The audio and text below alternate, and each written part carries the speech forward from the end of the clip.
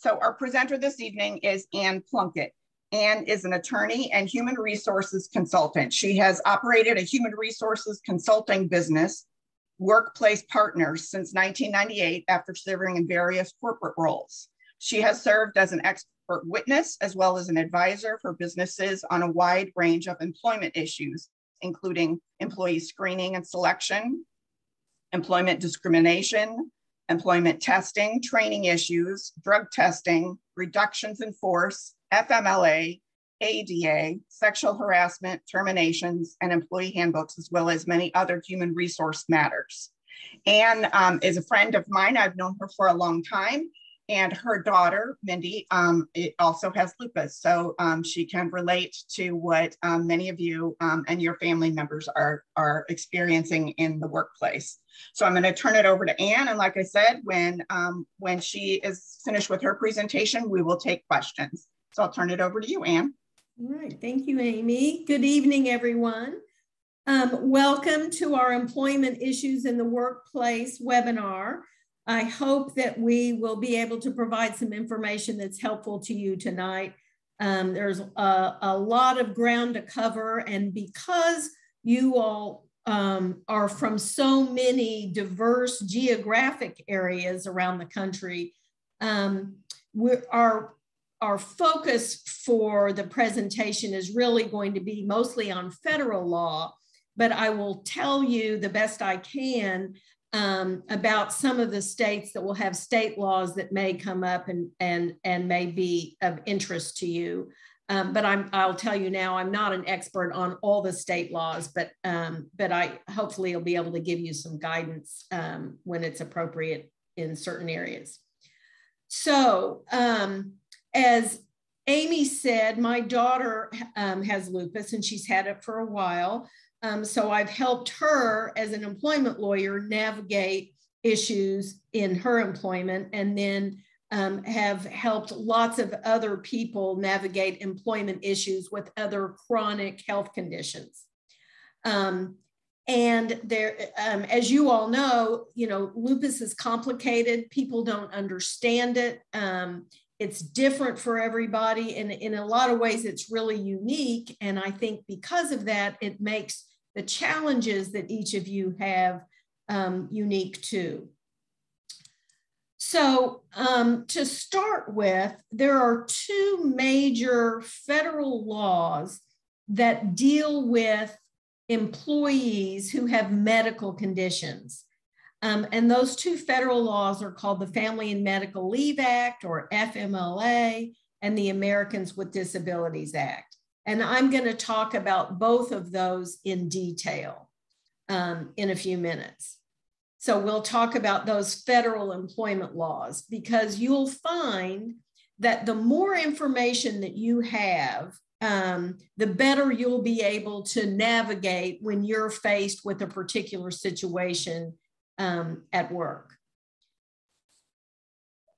one of the other things that um, I want to talk about before we get to um, real details in the federal laws is some of your company policies that, that you'll want to become familiar with. So, my suggestion to all of you is to become familiar with all of the policies and procedures that your company has. Um, and one of the things I think you'll find is the bigger the company is, the more employees you have, the more sophisticated you're going to find in general um, the company policies and procedures are, and probably the more sophisticated your HR human resource professional is.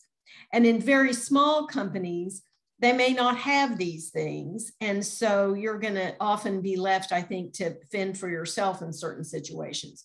But in, in mid-sized to bigger companies, you're going to find an employee handbook. And these days, pretty much every company of size has an employee handbook that details the policies and procedures that relate to employment issues.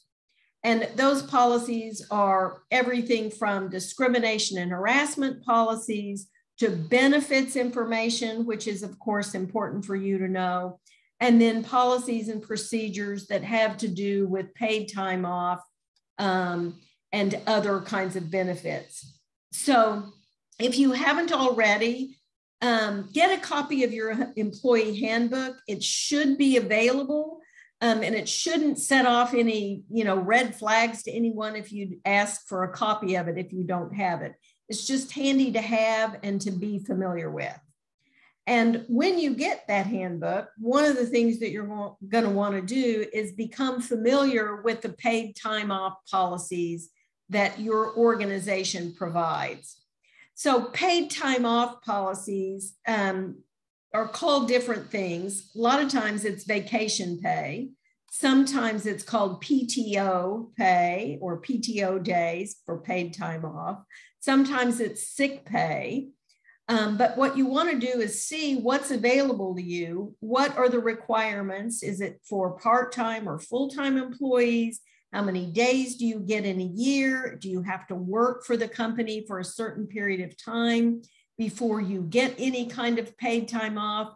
You know, what are the requirements for getting that? And I think even before you need any of these things, it's helpful to find out um, what those policies are. So look for vacation pay, look for sick pay, look for PTO. Um, and, and that has to do with how much paid time off you get. You may also be looking for leave of absence policies. Um, gen- in general, leave of absence policies could be a personal leave of absence, a medical leave of absence, um, it could be um, a leave of absence for um, family and medical leave purposes, which we'll talk about again in a few minutes. Um, the leave of absence policies vary widely from organization to organization, and many smaller organizations may not have any kind of leave of absence policy. Uh, keep in mind that the leave of absence policy um, provides the parameters for job protected leave. It's not pay, it's job protected leave, or it may be leave that doesn't protect your job except for a certain period of time. Um, so if there's a medical leave of absence policy, you're going to want to know how long um, the medical leave of absence is for. Is it paid or unpaid? Usually it's unpaid um, how it works, um, what the rules are. Is your job protected when you come back or not? Um, you know, how to apply for it. And hopefully, all those things you're going to find in the company leave of absence policies um, that should be in the handbook. Um, then, hopefully, in the company policies section of your handbook, you're going to find information about short term and long term disability um, policies. These are insurance policies, STD for short term disability insurance and LTD for long term disability insurance. Many companies do not have short term or long term disability insurance. Um, in general, smaller companies tend not to have it. Um, this kind of insurance protection tends to be expensive. Some employers provide this insurance for employees free of charge. Some employers provide it for employees at their own expense. Sometimes it's a hybrid of the two.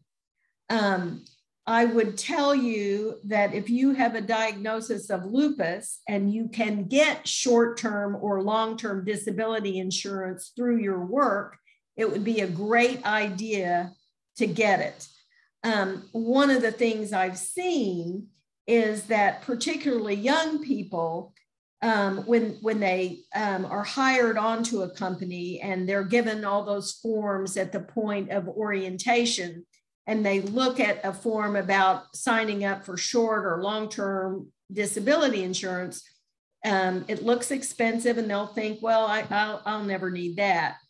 Um, don't make that mistake if it's available. Um, even if you have to pay for it, I think it's a really good investment and may come in handy someday. So, the short term disability insurance policies typically um, have a waiting period of oh, three to seven days before they kick in. And then what a short term disability insurance policy provides is pay, usually at a percentage of your pay, and generally it's about 60% of your pay for a period of disability. And generally, short term disability insurance is for 60 or 90 days. So there'll be a waiting period that's not paid, and then the insurance coverage kicks in and will pay for 60 or 90 days, whatever the policy is for, or the period that you're disabled. Um, those insurance policies require your physician to fill out a form and provide information um, that shows that you medically meet um, the requirements that you're disabled for that period of time and that you get um, that disability insurance. Then um, long-term disability insurance um, would kick in after the end of the short-term disability insurance. So if someone's disability period lasted longer than the short term of 60 or 90 days, then if that person had the long-term disability insurance policy in place, um, and if their doctor certifies that they still need, that you know, they're still medically disabled, then that employee could take advantage of the long-term disability insurance and receive a percentage of their pay for a longer period of time. Usually, the, these these are insurance policies, so they vary widely, but long term disability is usually for a year or two. Um, and that, that's a big general statement. Um, again, these provide a percentage of your pay. Um, sometimes it's not taxed. And so if it's not taxed, it ends up coming out to be fairly close to your um, pay, your, your net pay would have been after taxes. Um, so, so that's some information that you'll want to find out ahead of time. Don't wait till you need it. Find out ahead of time if any of those things are available to you. You're also going to want to take a look at whatever the other benefits are that your company may have available. And if you don't see any of these things in the company policies, it's always fine to talk to your human resources representative and get information. And that's generally the person who um, has the most information about any of these benefit related issues. Well, actually, in many companies, at bigger companies in particular, there may be a benefits expert that can help with some of these things too. Um, all right, so those are some of the company policies that you're going to look for um, and try to become familiar with, hopefully before you need them, so you know what might be available to you.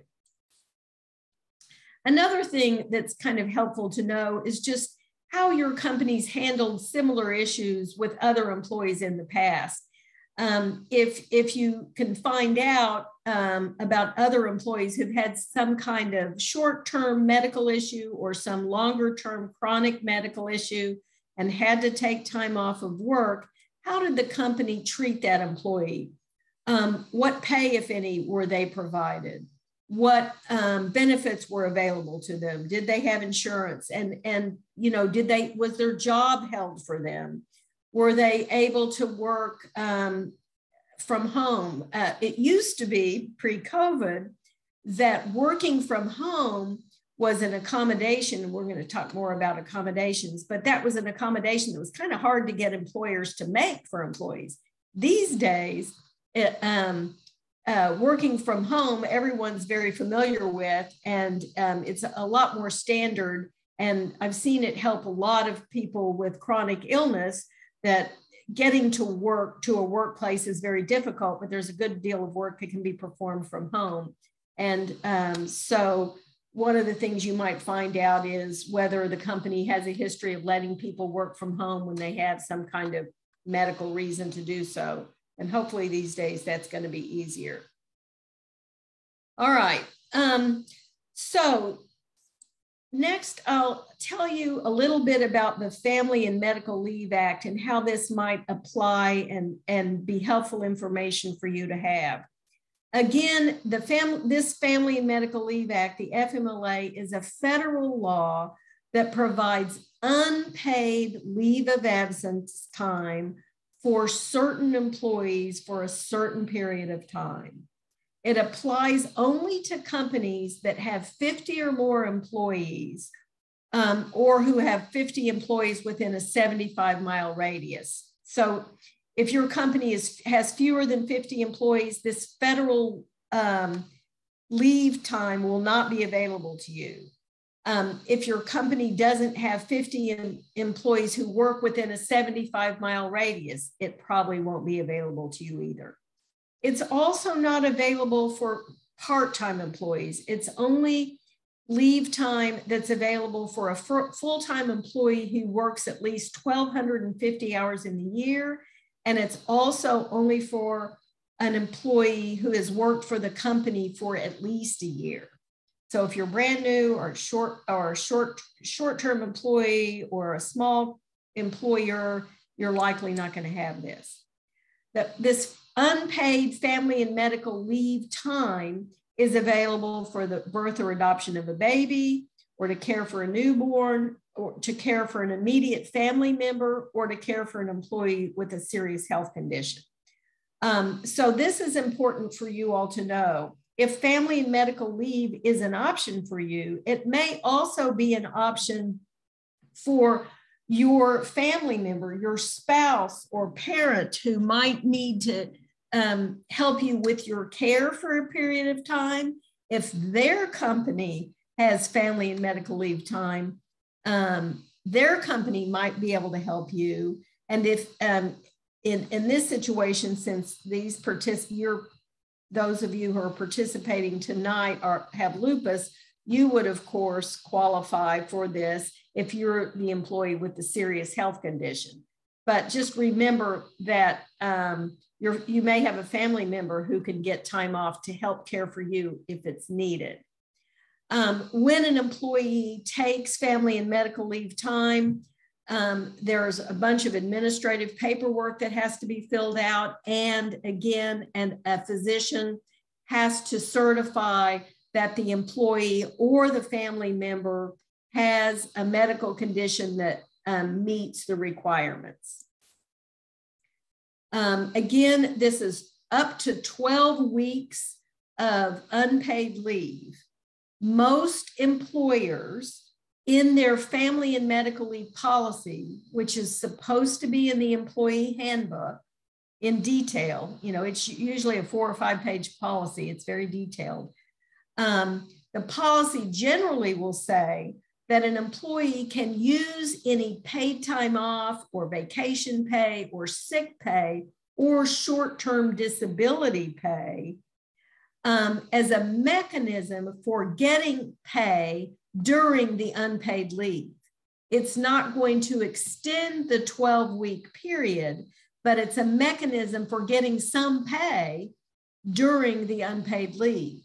So, for example, if you're taking family and medical leave of, let's say, eight weeks, um, and um, you have four four weeks of vacation pay. Well, that's probably not very um, often going to happen, but let's say you have four weeks of vacation pay. Your policy probably says that you can use any unpaid vacation pay to be paid for the first four weeks or whatever time amount you have left. And then the rest of the leave would be without pay. So you'll look at that policy carefully to see how paid time might give you some pay during your unpaid leave. If you've already exhausted all of your paid time off, all your vacation pay, you probably won't have any pay. Another important aspect of family and medical leave is that this is job protected leave. If the employee who takes family and medical leave returns to work before or at the end of the 12 week period, they have the right to be restored to a similar position, or it's called an equivalent position. So that means they can't put you on the night shift or give you some undesirable job. They've got to give you a job with at the same level and pay and benefits. It may not be the exact same desk you had or the exact same job, but it has to be equivalent.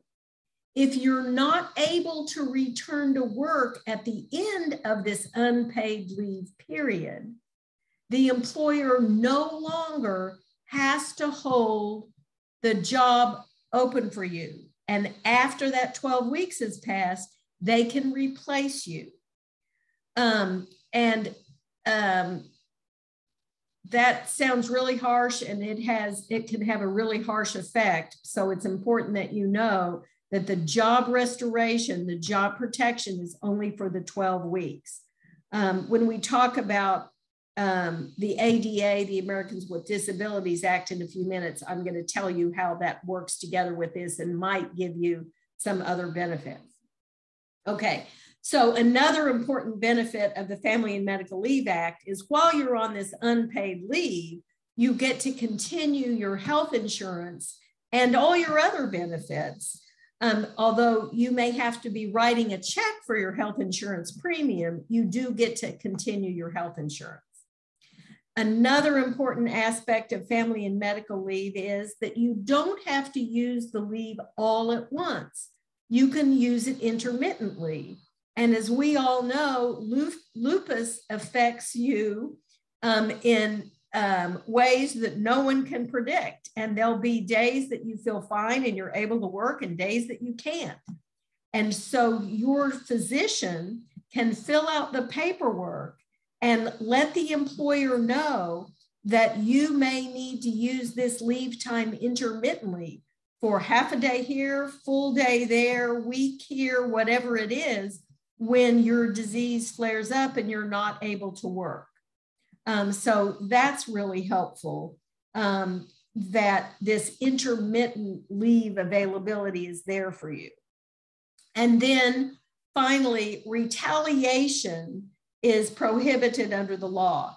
It's illegal for an employer to retaliate or discriminate against an employee who has used family and medical leave time. Um, so employers are not supposed to do that. As a practical matter, it's really hard thing to prove, but responsible employers know that they can't treat you differently um, if you've taken family and medical leave time. All right. Um, and we'll have time to answer questions about this at the end. So I'm going to go ahead now and move on to the Americans with Disabilities Act or the ADA. Oh, before I do, let's go back for a second. On Family and Medical Leave Act, um, I mentioned that this is a federal law, but in many of the states that you all are from, there are also state Family and Medical Leave Act laws. I am not an expert at all the different state laws, but um, many states, particularly on the East Coast, New York, New Jersey, have um, state laws that are um, as good as or sometimes better than um, the federal law. So it's important for you to find out if you're in a state that has any state law benefits that go beyond or supplement the federal law. And you can do that real easily by just Googling your state and um, what the State Family and Medical Leave Act laws are. Um, and the, the same is true for um, state disability. So, New York and New Jersey, I know, have state disability um, uh, insurance that um, employees with lupus may be able to take advantage of. Um, again, I'm not an expert at those state law protections, but find out um, what um, kind of state disability protections and insurance is available in your state. I know Missouri, Illinois, Kansas, we don't have those here, but on the East Coast, they're more common. Okay, so let's move to Americans with Disabilities Act. So the Americans with Disabilities Act, or the ADA, um, is a federal law that says that any employer with more than 15 employees can't discriminate against someone who has a disability. And we'll talk more about that.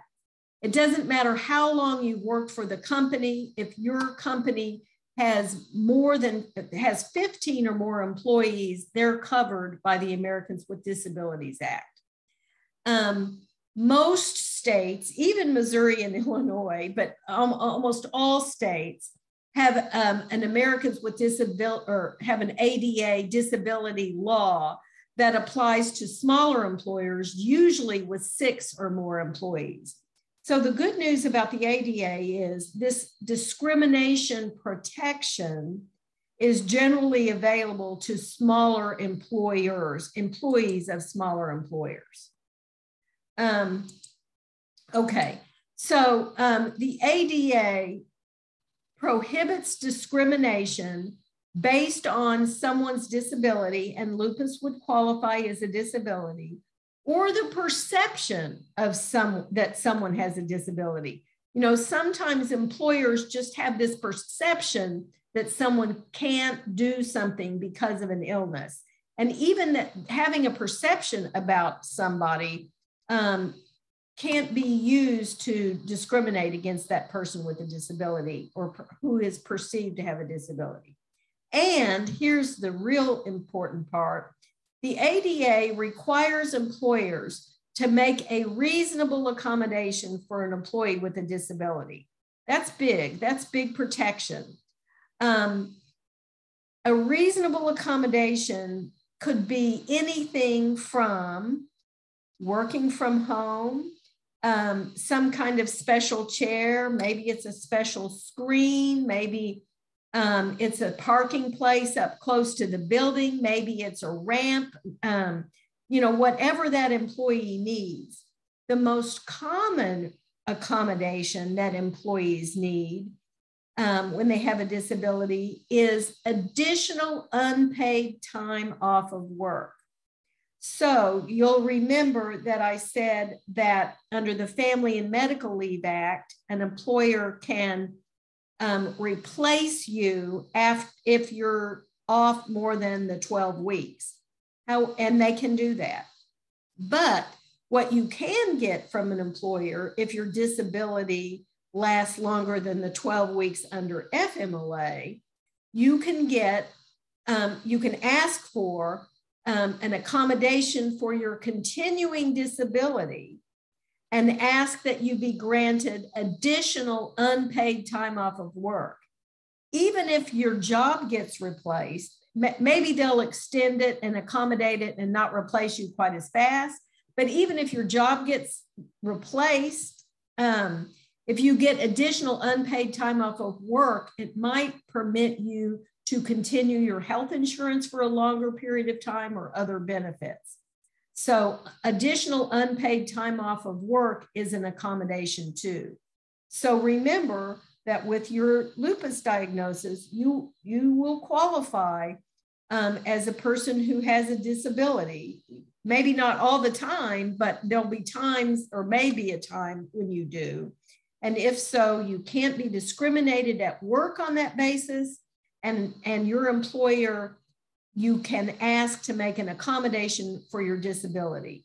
The employer will likely require you to have a note from your doctor to support your request for an accommodation and that you need one for a medical reason. Um, by the way, the employer is not entitled to know your diagnosis if you don't want to tell them. Um, but all the doctor has to do is tell them that there's medical reasons that you need time off for family and medical leave or medical reason for some kind of workplace accommodation. So that's the Americans with Disabilities Act. Both of these laws um, can provide significant protection for someone who's dealing with a diagnosis of lupus um, at different times during your work. Um, we talked about the fact that um, this may provide additional protection after your FMLA is exhausted, and that the accommodation might be additional unpaid time off of work. Okay, well, how do you enforce these laws? Um, well, um, first, your human resources department will be your um, best friend and resource to helping you understand what benefits available to you, helping you understand um, how to access your benefits and navigate all of these complicated things. If the human resources department doesn't or, or they don't do what they're supposed to do, you can go to the EEOC, the Equal Employment Opportunity Commission, which is the federal agency that will enforce the ADA and the anti discrimination provisions of the ADA and also the FMLA, or the Department of Labor may also um, enforce the um, family and medical leave.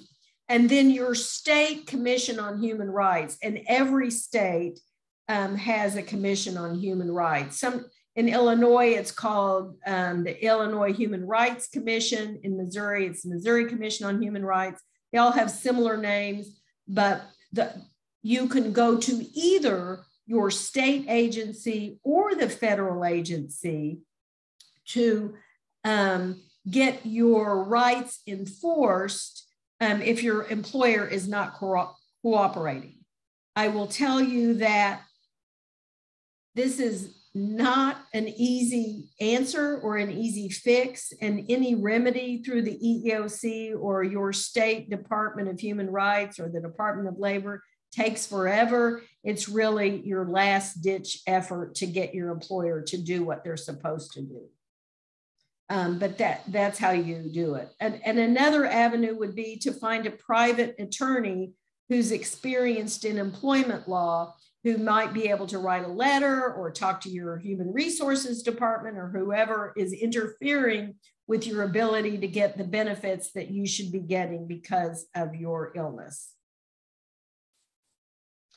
Okay, um, I it looks like we have quite a few questions. So um, we went through that pretty quickly. Amy is going to um, tell us the questions that have come up in the chat, and we'll do our best to answer those for you.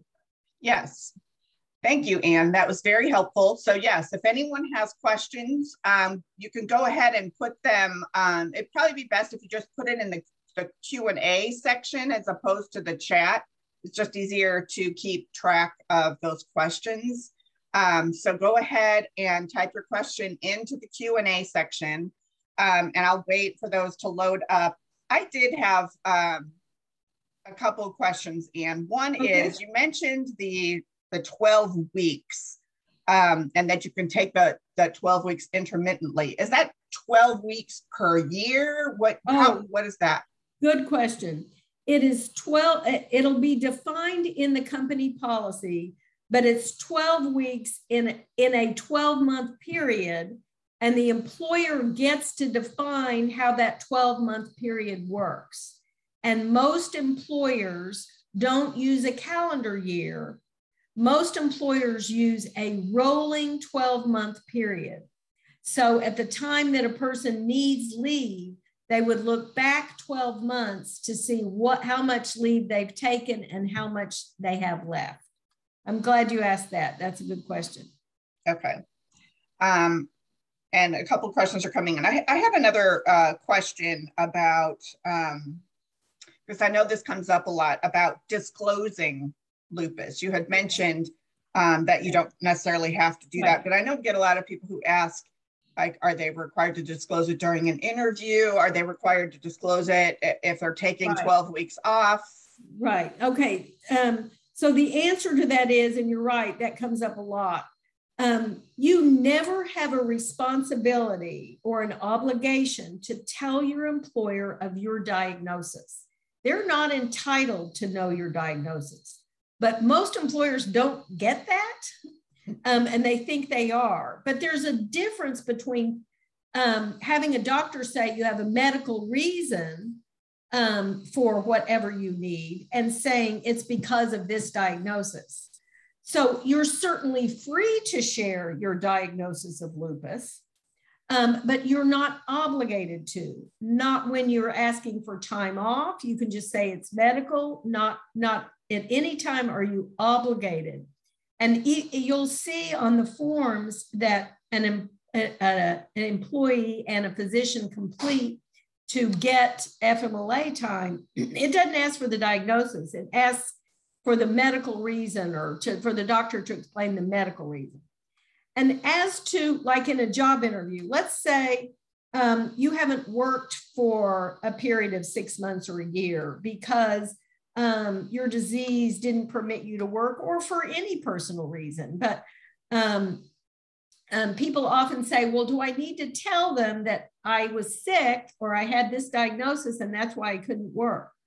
Or do I need to tell them when I'm starting, hey, by the way, I have lupus and I'm going to need this and that when I come to work for you?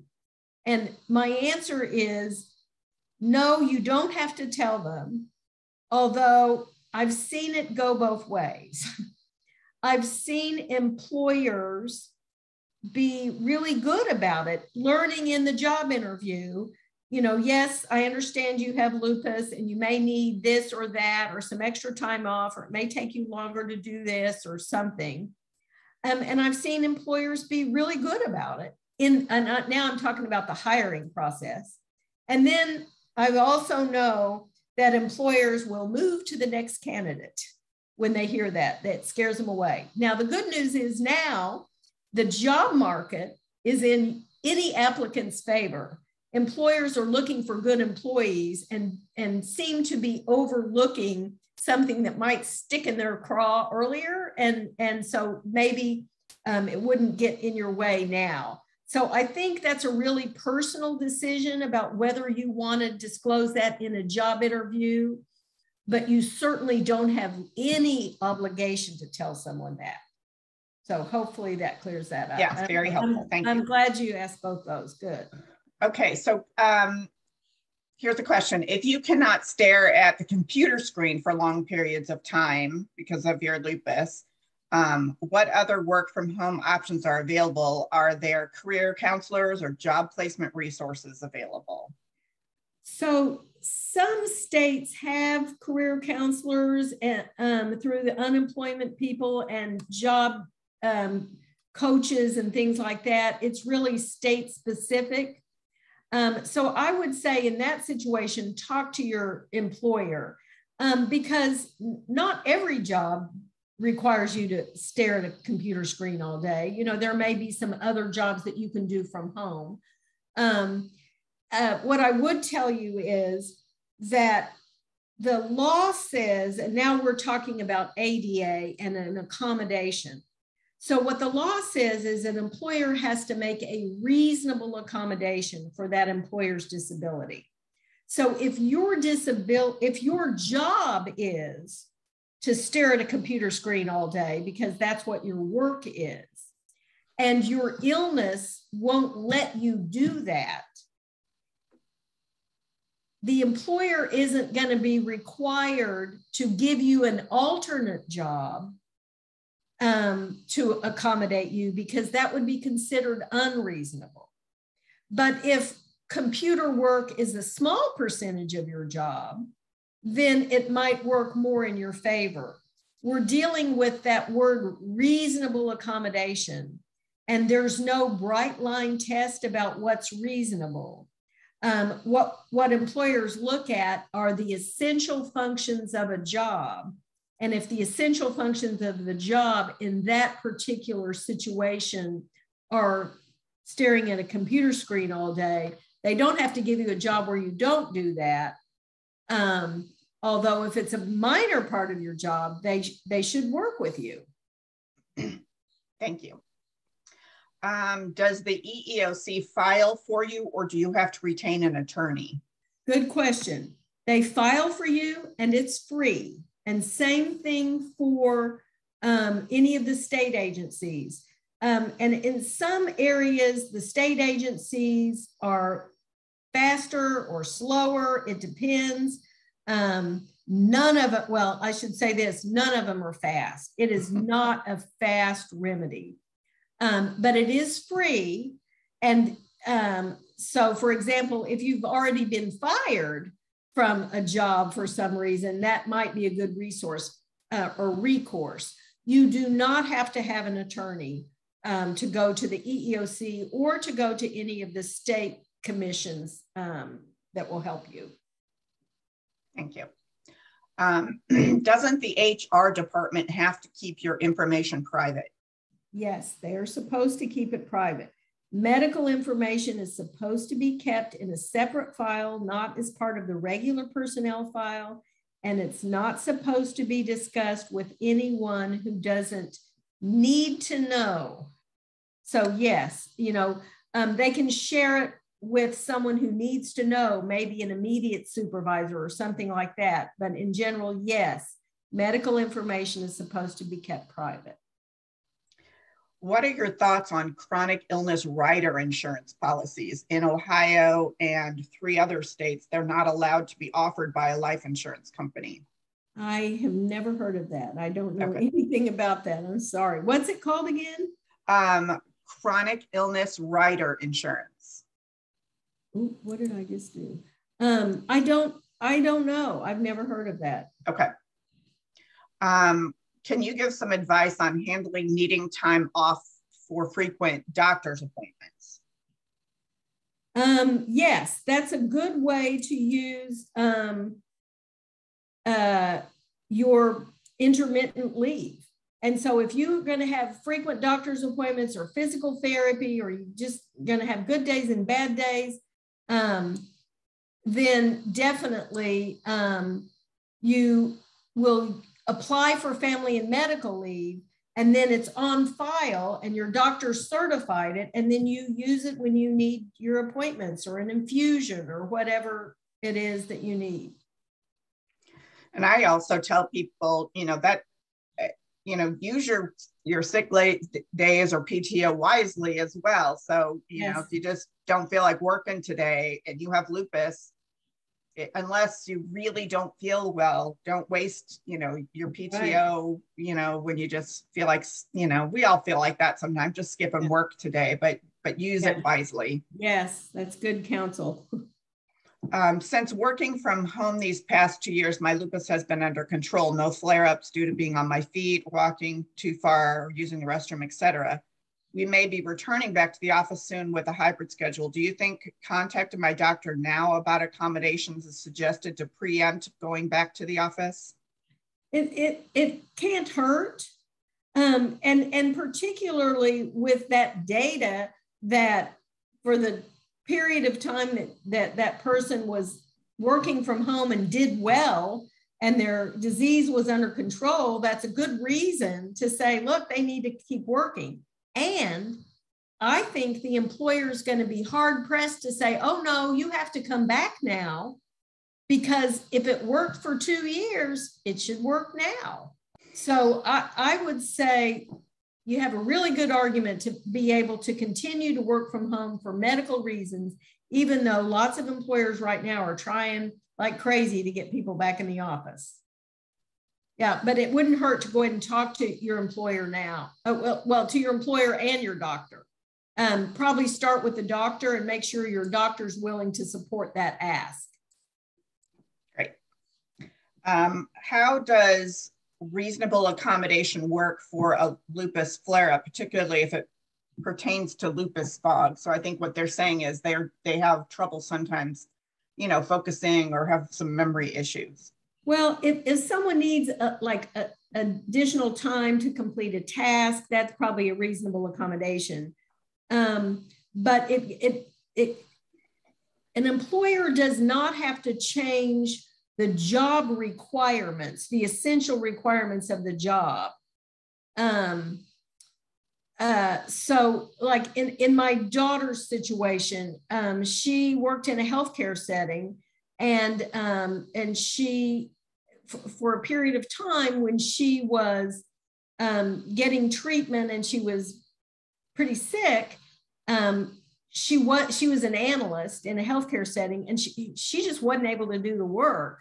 Well, there wasn't any accommodation for them to make to give her work that she might have been able to do. That's when she took a leave of absence because she wasn't able to perform her job. And um, that's what the leave of absence time would be for, or family and medical leave. That that's more of a leave issue, I think, than an accommodation issue, unless it's something minor like, you know, it just takes me a little longer versus I, my brain's just not uh, cooperating right now. Would a 504 plan fall under the ADA? I don't know what that is. I'm not. I, it, um, that's okay. Some kind of special benefits, but I'm not. I don't know. I'm sorry. That's okay. Um, it, I don't see any other questions. Does anyone else have questions? You've got an expert here willing to answer. So we're, you know, we're almost done with time here, but would have we should. I'm sure she'd be happy to answer any other questions. Um, one of the other things I was going I was going to mention to, to some of you that we hear a lot of are people who don't necessarily work in an office setting, who work in maybe they're a cashier or they're you know they work at a department store or you know some of those situations where you know it may you may not be able to work from home or you know but some right. if you work for a large enough company and right they they have to follow um, all of these federal laws. Yes, they do, but they don't have to create a job for you. But if it's a big enough company, there may be a job that you can perform. So, for example, um, I've had this happen with cashiers a lot. Um, someone who's a cashier and their job requires them to stand up. Well, not necessarily. A reasonable accommodation might be to give them a stool to sit down on either a stool to sit on to perform their job or a stool to rest or an extra rest period. But, um, you know, I had, I've fought with several employers over the years who say, but our cashiers have to stand up. And I'm like, no, they don't. oh, I, we can use this high stool right here and they can manage just fine. And that was all that was needed. Um, so yeah, you have to get creative sometime and really convince them. But um, yes, many jobs are not performed in an office, and and so different kinds of accommodation issues come up. Okay. Um, large companies offer access to extra benefits like AFLAC that can be that can help in access to basic company yeah. benefits. Right. Yeah. Some large companies have a- AFLAC insurance policies available for employees to purchase. Um, and if that's available um, and affordable, that might be something that could provide some extra income and protection. Yep. Um, that's a good question. For intermittent leave, how much notice is needed? I don't always know when I will flare, and sometimes it's very sudden. Right. So um, in that, that's why you fill out the FMLA leave form ahead of time and get your doctor to certify ahead of time that there will be times when you'll need intermittent leave without being able to provide notice. You know, you obviously give them as much notice as you can, but exactly, um, sometimes, often, you know, that happens without any kind of warning. And so if you get the paperwork in place and the doctor certifies that ahead of time, then um, you're all set and you call your employer that day and say, I'm having a, um, a flare and I'm, I'm going to need to take intermittent FMLA today. Great. um, I, there's a question about what is considered full-time employment and i would assume that is has to do with what your employer considers full-time. Well no it was it was the 1250 hours a year. Okay. They had they have to um, to be eligible for fmla under the federal law you had to have you have to have worked at least 1250 hours in the year. Okay. So a very part-time employee if you're working 20 hours a week you're not going to need it. Um, but that's the definition, 1250 hours. Okay. Okay, any other questions, anyone?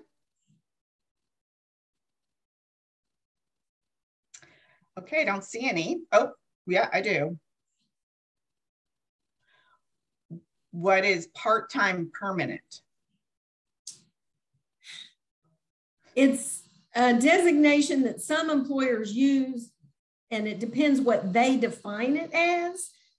Um, if I'm giving advice to an employer, I would tell an employer there's no such thing as a permanent job because there's no such thing as a permanent job. But I think sometimes employers use that designation, and if they do, they give it the definition that, that, that it has. And for them, it, I think that what they mean is that it's not on an on call basis, but it's on a regular basis. I think they mean regular. But I would say look at the definition that the employer uses. That's not a legal term. Okay. Okay, well, thank you all very much. I want to thank Ann for being here tonight and sharing her expertise with us. It's it's always great to have someone who has such great knowledge and to share that with us. So I know you all join me in, in thanking her. And I want to thank all of you for attending this evening. Um, and yep, we're getting some thank yous um, to you, Ann. So, um, and thank you all for joining us. Um, and again, if you have any questions, please check back with your local chapter. Um, and we look forward to seeing you at future programs. Well, thank you for letting me present to you this evening, and I wish all of you the best. Thank you. Good night, everybody.